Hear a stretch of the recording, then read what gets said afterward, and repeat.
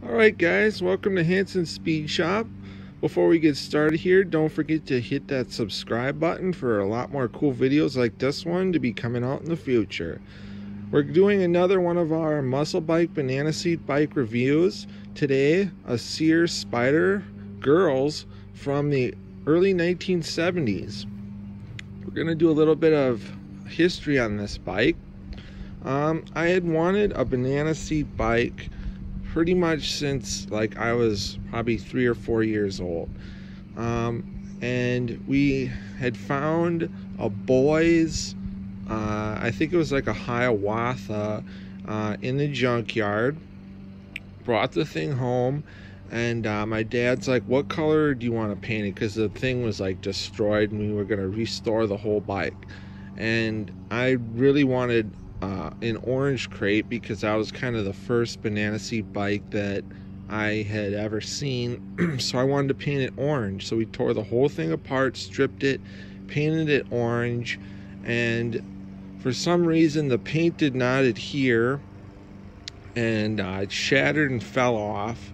And my dad decided that he was just going to redo it a uh, different color, which was yellow, and I didn't really like that. And it kind of just didn't get finished. So I still wanted uh, a banana seat bike.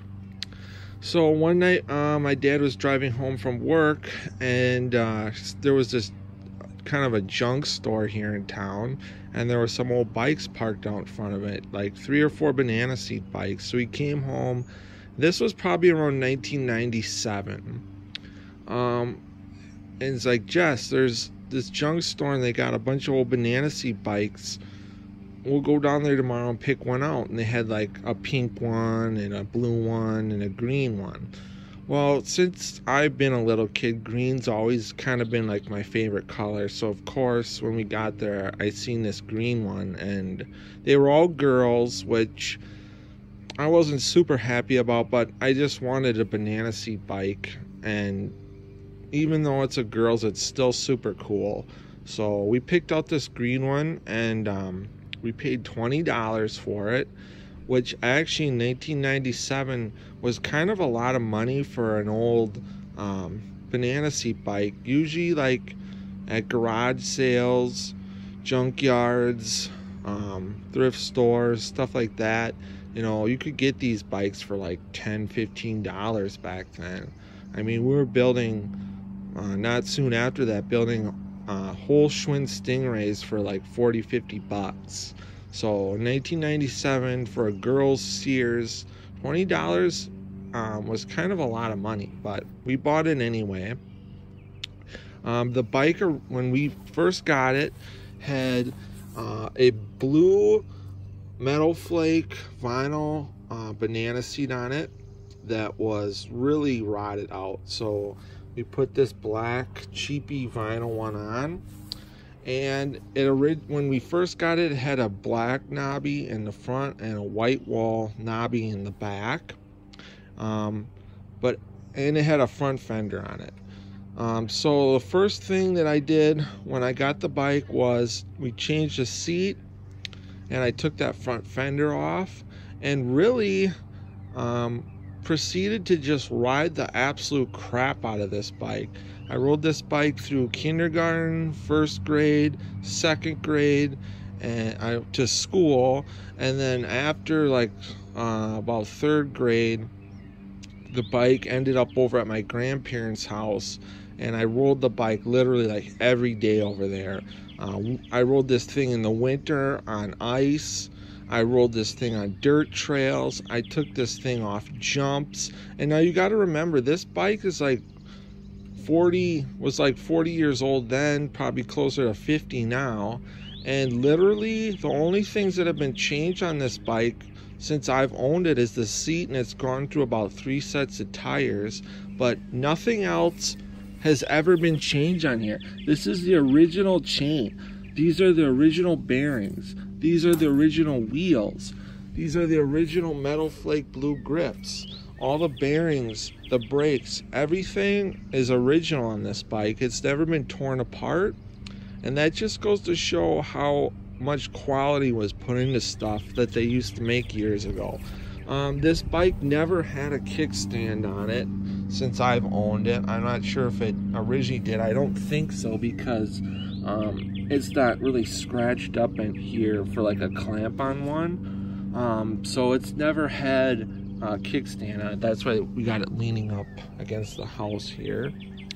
Um, last year, um, I saved this bike again. Um, it almost went in the garbage when they were cleaning out my grandpa's shed. Um, so I was like, no way is that thing going in the garbage.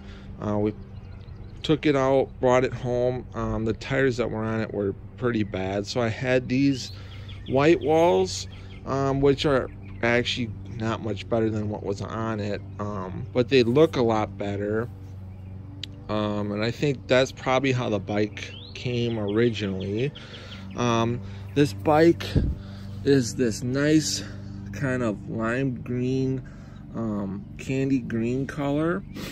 Um, it originally had these three stripes right here, in white, blue, and black. And then it's really faded over the years, but one of my favorite things on this bike was used to have this racing flag sticker right here. And here's the Spyder logo. Then a lot of the non-Schwinn's um, had that red ring in the rear hub, which I always thought was super cool looking. I also was always a fan of this style um, chain ring, which came on a lot of different um, bikes like Sears, Huffy's, Coast to Coast. Um, had this similar style chain ring. Um, super short cranks. These are the original blue um, metal flake plastic pedals, which are super sloppy and worn out. Um, original front fork. Here's the original faded out Sears badge. Um, but this was just a super fun bike to ride as a kid. Um, put just tons of miles on this bike. Um, so we're gonna put a little bit more on it and take it for a ride now and then we'll go from there. All right, we're gonna take this baby for a ride. Now, this bike never was a very fast bike, but it's pretty comfortable and it was just tough as nails. I literally could not break this bike. So, let's go. Now this bike's a little bit uh, sloppy to ride because the pedals are like really worn out. That's what it looks like um, when you're riding this bike. Pretty easy to pedal. Um, the brakes are getting a little bit worn out on this thing. But again, you gotta remember this thing's like 50 years old. It's never been rebuilt. It's never been torn apart.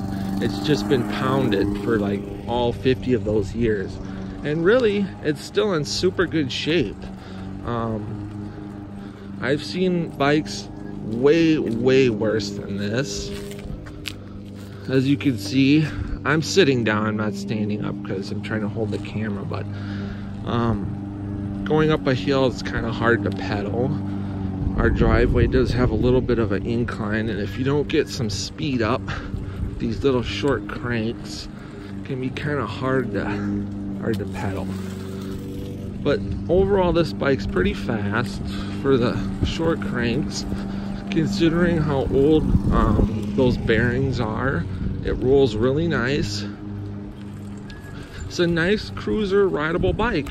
And that's what I did with it. And I had a lot of fun with it. So, I hope you guys enjoyed that. This is the early 1970s Sears Spyder Girls. Comment, let me know what you think of this bike. Give it a thumbs up if you think it's super cool. And I'm gonna go ride it some more. So get out, work on your own projects. And uh, we'll see you in the next one. Thanks for watching.